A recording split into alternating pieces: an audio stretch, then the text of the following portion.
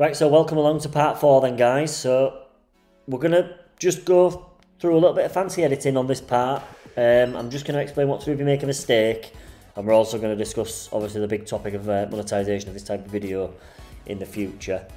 Um, so let's just start with the editing side of it. So obviously, when I when I did this initial start off screen, I just brought these in as a block. Now you don't have to do that. Just ungroup the first one. I'll just show you what I mean obviously animate and then just click on the shape, not the text. Click on the shape, build in, add an effect, and what we're going to do is we're going to fade and scale. It comes in with a nice little shine, but we just need to speed that up a little bit because that was pretty slow. So 1.5, and then set that to build position 1, and then the country ball, building again. This time we'll spin it in, turn that bounce off, set it to position 2, and then population um, we'll wipe that in set that to position 3 and then Mexico we'll wipe that in set it to position 4 and then with the figure we'll trace that in, it's quite fancy. We'll just speed it up a little bit and set that to position 5 and then just go into your build order. This is straight from the start of the video so after the transition, let's say half a second to get going, and then the country ball image will send that straight across with it. So with build one, no delay. And then the population text will wipe that over um, just after. Give it a small delay.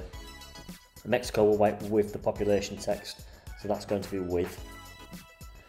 And then number five, we'll send that after, but we won't delay it. So that should be that. So obviously we're not animating the box, that's why it was on the screen at the start. But all that comes in sort of fancy. Then you just repeat it with Russia, repeat it with Bangladesh, make that text disappear, and then repeat it with Nigeria. So that's that. So then in slide two, what you would do, same thing in reverse, you would take out the country ball, take out the shape, take out the China text. Don't delete them, just move them out, put them in this position, these positions and then send the the clear box, the clear three color box over over three seconds into that position and then build them in afterwards before slide obviously doing your transition and sliding it across to your end part, your ending part. So just what I've just done but sort of in reverse. That's that. So now I'll just show you a little bit of fancy stuff just to how to animate your shapes and just move these out the way. Um, why don't I just delete these groups just to save confusion. They're not built in anymore. So let's ungroup this and then pull that out. We're going to delete this because it's going to be easier than trying to regroup it and send it. And I'm going to use this one because this one's already grouped. Change that to 2.14.3 and then just set these, go to format and set them both to front or when you try and slide them across they might end up behind this so arrange and then front. So they're set to front.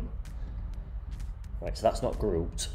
So scroll down on everything press group and then copy and paste that.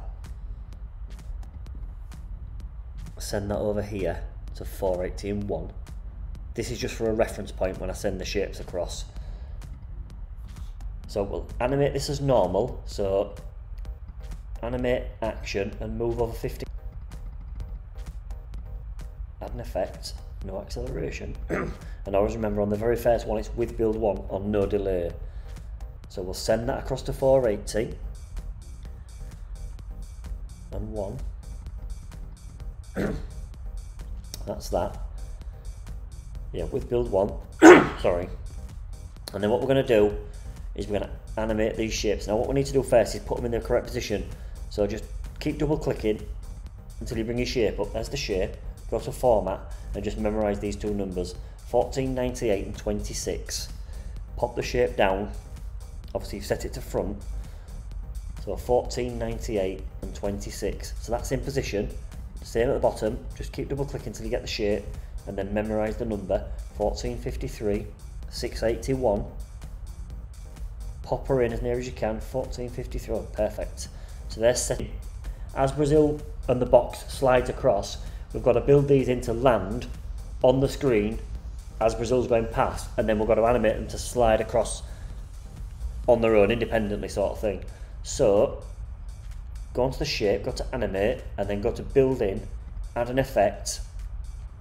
I'll pivot it, if anyway. Um, set it to 1.5, and that would be with build 1 on a 1.5 delay. It should, the three seconds it takes for Brazil to get from that position to the position where the shape comes, that, that whole delay should be three seconds. So 1.5 to make the animation and 1.5 delay, if you like, should make the time up. And then it's a bit easier on this one because you just um, build it in. Um, let's spin it in. 1.5 is fine, and we'll do that. That's just with build one. I think that's right.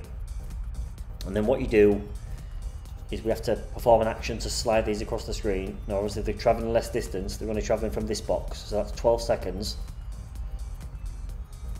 Align to path, no acceleration, and then it's after build 4. So you've got your wire position 26, it's got to stay on that. Just pop it into the middle of this box as near as you can see. Looks about right, and then set your position to 26. and then same here perform the action add an effect uh, move 12 seconds add an effect no delay and that's with build 5 I think that's right and obviously don't forget 681 and then send him to the middle of that box 681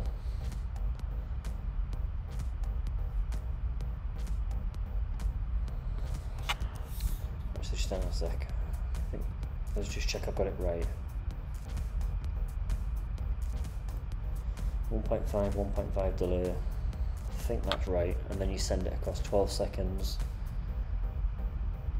and 12 seconds. I think that's right.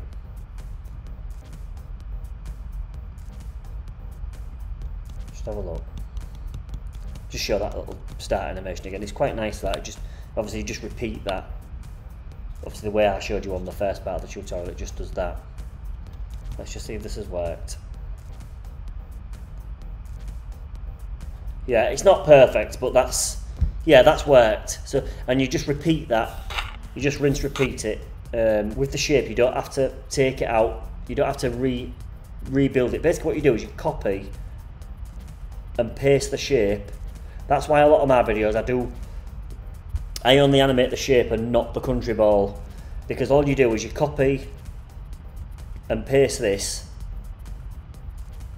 recenter it, send it across the screen as normal, and then as long as you build this in afterwards, it, it redoes, it re it remakes the animation for you. So effectively it does it for you. All you do is change the text, put it back in the same position. It's just awkward if you if you're animating these country balls, that's that's then it's awkward because you've got to remake that build yourself. So I hope that sort of gives you an idea what you're looking for. I worked that all out myself, so it, you know it's possible to do it. So that's really it. So let's just quickly talk about monetization of this type of video. Now YouTube are really clamping down on channel. There's a lot of channels now popping up. Just they just they make these slides. They make them a bit like this. You know, you've got a shape, you've got a either a country ball or you've got an icon, and you've got some text in the middle, and there's there's no real there's no real educational value to the videos.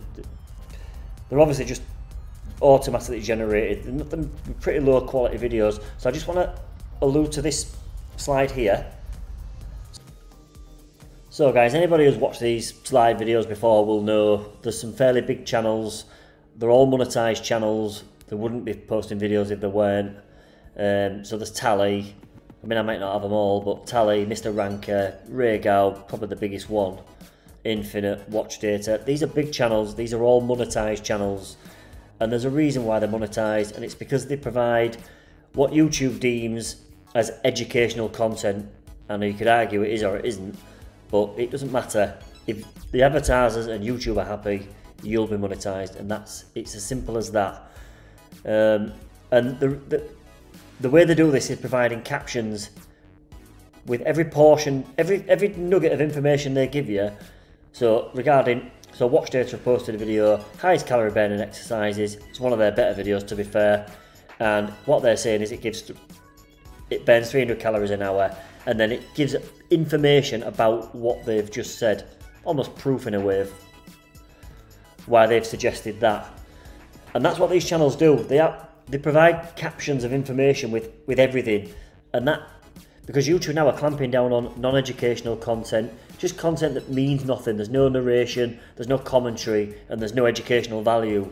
So if, as long as you can be innovative and provide, I'll just scroll down and just give an.